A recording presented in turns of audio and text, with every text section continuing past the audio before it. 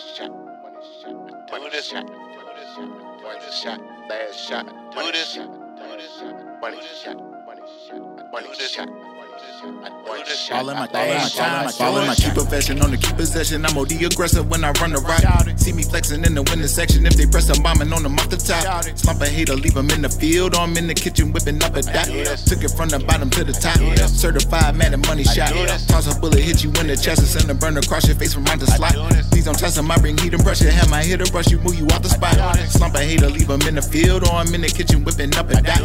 Took it from the bottom to the top. Certified man and money shot.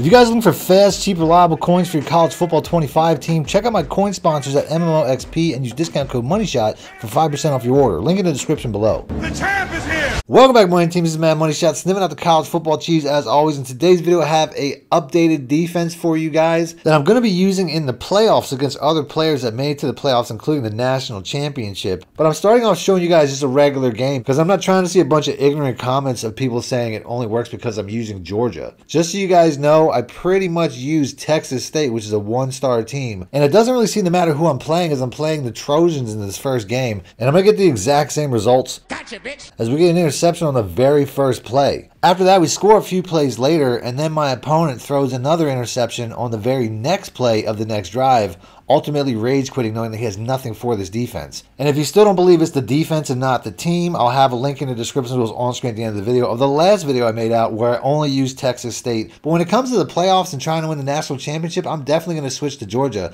Not because I think that they're the better team, but because I think that they have the best offensive playbook in the entire game and the only offensive ebook that I put out this year. And they also have my favorite defense, which is what I'm going to show you guys today. And I have ebooks out for both. So if you guys need more help or more money plays, you can download these or any of my ebooks instantly simply by clicking links in the description or the top pinned comment. Now, the plays I'm going to show you today are from a formation called the 3-3 Mint, but if you don't have that in your favorite playbook, there are a couple of other formations that are exactly the same. Formations like the 3-3-5 Tite and the 3-3 Odd. In the first video that I made about this defense, I showed you guys the cover 3 match, and I still use this quite a bit. And you're still going to want to flip the play in the huddle the exact same way so that your rush angles look like this. But I've also added a few new steps, one of which is to pinch the defensive line every single time by hitting D-pad to the left and down. And then I also put this outside linebacker on a QB spy, which you can do quickly by hitting the D-pad to the left twice, which I find is probably the most helpful adjustment when you're facing a mobile quarterback like Jalen Milrow. Just make sure that the player that you have in a spy is fast enough to handle that responsibility. And the last two steps are completely optional, but they will help out when it comes to run defense. And that is to move my user linebacker here to about 8 to 10 yards off the line of scrimmage, as this depth is too far away for the offensive line to target you, making it much easier to shoot gaps after the play starts. And I also like to sometimes spread my linebackers, which is D-pad to the left and up, to get this outside linebacker out just a little bit further, as this will help with edge containment. And you can see on the very next play that it does help out, as he might have had an inside zone there, but decided to take it outside, and there was nowhere to run. On third and long, he tries to spread me out and run around with the quarterback, and this is exactly what the QB contain is for, as all I have to do is push in the R3 button, also known as the right stick, and this QB spy will go after the quarterback, as it looks like this guy's going to cover the running back in the flat, but for some reason he goes after the quarterback as well, so I don't know if I pushed the button in too many times, but I know in Madden it doesn't allow you to send more than one guy when you push in the right stick, so I really don't know what happened there. On the next play, since he's got three wide to the wide side of the field, I decided to go with the Mabel concept instead, as you can really use this outside linebacker in a couple of different ways. As I can still push in the right stick if he scrambles in that direction. On the next play, though, I'll go back to the QB spy and I start the play about 10 yards off the line of scrimmage as I shoot the gap and take the running back down for no gain. Sit your ass down! Now you can also send a blitz out of this, which I do send from time to time, but I let the offense choose when I do it. Whenever the linebacker here is in his gap, you can do a blitz simply by blitzing all linebackers, which is D-pad to the right and down on the right stick. And this is because the blitzing linebacker has no immediate responsibility off the line of scrimmage because the seam flat will match the receiver on the left. I, however, have to match the receiver on the right in the slot. But for the blitz to work, I have to hover this guard gap before dropping back into coverage, which I feel I can still do from this distance. So I drop down over the guard guard, and he must have seen something because he audibles over to a run play. And I'm not in my run defense setup, as being this close to the linemen are definitely going to target me. So if you start to play this way, you're going to get blown off the ball, as I spend most of the play running towards a receiver that's not even going on a route anyways. And on the next play, now that he's under center and has run most of the drive so far, I'm going to switch over to my cover zero defense and guess run up the middle, which is hitting RB or R1 and down the right stick. As you can run commit from cover zero without any penalty to the coverage if it's an actual pass play. And it looked like we are going to get the stop right here, but he gets kind of a BS animation back to back to punch it in on the very first drive. Wilson. On offense, he's running the exact same mid blitz meta that most people are running. It has no effect on me as I know how to pick up the blitz. So we just slide pro and we go right down the field on a simple drag route. With a couple of stick skill moves later to get inside the 10. Before calling what's probably my favorite play in the entire game out of the Gun Deuce close called the halfback swing. As this play is just guaranteed yards. Oh, shit, that's just too easy.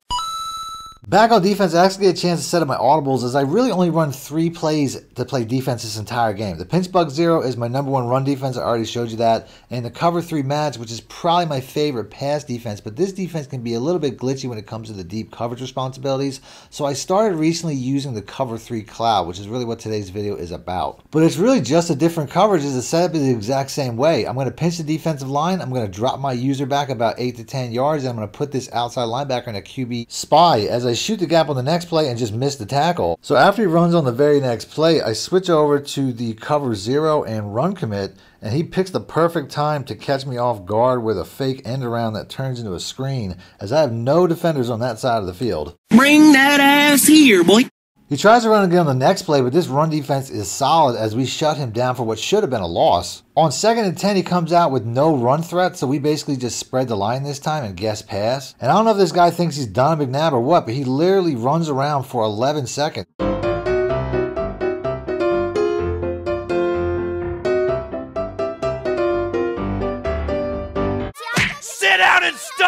On third and long, he tries to do it again, and I just push in the right stick for the QB spy. How about no? And we end the drive as he misses a field goal. On offense, since my opponent is spamming with man zero blitz, I'm going to use the speed boost glitch. Break yourself, fool! And hopefully that forces him to play real defense next time. Back on defense, my opponent is trying to run around like a chicken with his head cut off and make a play. And you can tell his defense is frustrating him as he throws into double coverage to end the half. Got him! Back on offense, we're running some RPOs and it's all stick work at this point. As you know when your opponent starts doing this, that you're in that guy's head and he knows he can't tackle you. On the next play, since I've been hitting a lot of underneath routes, you can see he brings the cover two safety down in an attempt to try to cut this off on third and six, but that just lets this guy get open right over the top. Back on defense, you can tell that this guy's game plan is mostly running around with the athleticism of Jalen Milrow, which is what most people do when they play with Alabama. Sit down and study! As I accidentally switch stick off my user on the next play, but at least I put him in perfect position so I can come back. From here, welcome to Pound Town, as we don't plan on throwing the ball another time as we get into the fourth quarter. But he must know that as he starts coming out in field goal safe defense. What a pussy! And I'm cool with that as we punch it in to go up three touchdowns with only two minutes left in the fourth quarter. And my opponent's had enough as he taps out mid celebration. See ya! As we make it to the national championship game against the exact same Alabama team. But this guy almost scores right off the rip as he hits me with an RPO and almost takes it to the house. Oh, no, you don't! So now he's in the red zone. I'm going to basically use the cover three match and hard flat every single time because short throws are definitely more valuable real estate since there is no deep coverage area to cover. And you can see how the run defense is still shutting him down as he tries to run the next two plays, getting inside the five. Anytime my opponent is on the goal line like this, I gotta stop the run first. So I'm gonna run commit from man zero blitz. And I'm also gonna use the blitzing middle linebacker who's not covering the running back, so I'll have a little bit more freedom to roam. As we push him back and force him to go for it on fourth and four. I spend the rest of the quarter just trying to get off the goal line as this guy's defense forces me to go for it on fourth down multiple times, and we pick it up every single time. He's mostly running man coverage, so I start to hit some drag routes and some comeback routes to get down the field before hitting him with a drag over the middle to score and take a 7 0 lead. One of my favorite things about this defense is it's a split coverage, which means half of it's cover three and the other half is cover two, which really confuses a lot of people as to what is actually getting open. As my opponent tries to hit a simple corner route Gotcha, bitch. and throws an interception instead, as we're going back the other way to get the ball inside of field goal range with only 20 seconds left. From here, though, he's still running those cover one man, so we just hit him with a double drag once again, and we got a catch and run easy touchdown to take a 14 0 lead going into half. Fuck you! I get the ball in the second half too, and those drags are still putting in work. I said, let him cook! On the next play, since he's running a lot of man coverage, I wanted to see if this wheel route would get open. And it turns out he's running his own, but it doesn't matter as he still gets wide open over the top to get inside the five. And my opponent's had enough. As not one team I faced in the playoffs actually finished the game, and I only gave up a total of seven points. So that's that's the video. If you guys want to see more videos like this, more defensive tips, I'll have that popping up on screen. And until next time, thanks for watching, man. My shout out. Need more help or just want to show your support? Then head over to my Patreon and join my team, where you can get exclusive content like ebooks and bonus plays, as well as early access to my vids and more. Link in the description below.